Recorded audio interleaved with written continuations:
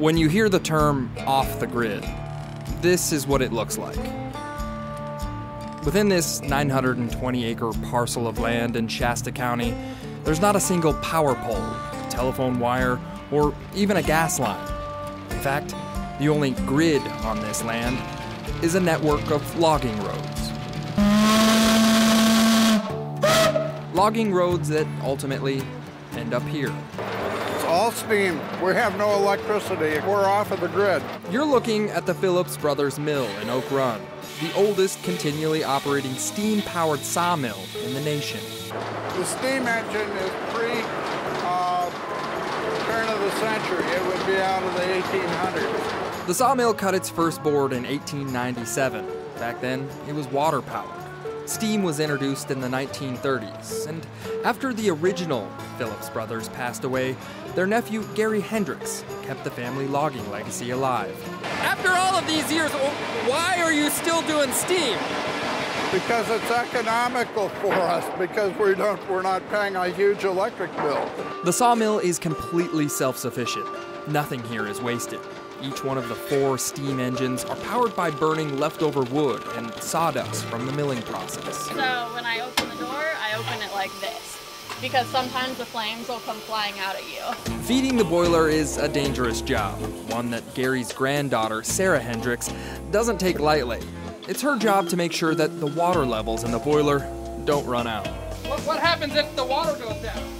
Um, well, if the water got completely empty and it kept burning, the boiler would explode. It, it can explode? Yeah. Oh. While Sarah keeps things from exploding, her dad, Greg Hendricks, keeps the engines moving. So once the steam's in there in the cylinder, it comes into one end, uh, pushes the cylinder to the other end, and comes into the other end and pushes it back the other way. The steam engines are relatively simple. The water in the boiler creates high pressure steam. That steam pushes a piston that turns the engine that ultimately powers the saw. They just go and go and go and go and very little maintenance. When things do break, it's off to the steam powered machine shop, which is filled with tools you'd only find in a museum. You guys can't just go down to the hardware store, huh? That's right. Quite often you want to just rebuild the part yourself.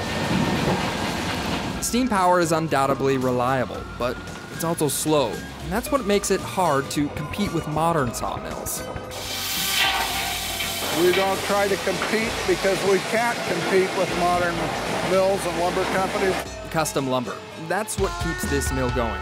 The wood that's produced here is not available at your average lumber store. The thick, rough cut slabs will ultimately be used in high end, expensive homes and cabins. Let there be light. The other profitable side of the mill is the box shop. Back in the 1980s, Gary found a niche market for making custom wine crates and novelty boxes. He even creates the own artwork himself. This, this is one that we just did as a gift box for people. As old as it may be, the sawmill will continue to run this way. In 2002, the Phillips Brother Mill was listed on the National Registry for Historic Places. And the timber is protected by a conservation easement that requires responsible logging for the future generations. And then the other thing is tradition. We love our family heritage and tradition. From the steam filled forests of Oak Run, California, I'm John Bartell. Hope to see you on the back road.